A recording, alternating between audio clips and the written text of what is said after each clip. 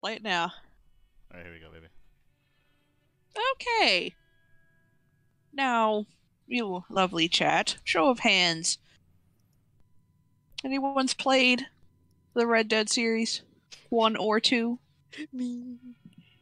Yeah, I got Lexi. I uh I'm like, you you fucking stop what you're doing and pick up this game.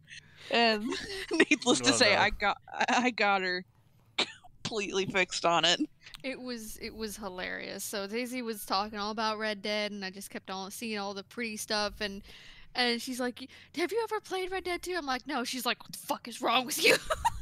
No, he's like the online stuff. It's horrible, and I'm like, no, you can don't play have- Red Dead without online. I'm like, "What do you mean? Yeah, you can play single player, huh?" what do you mean?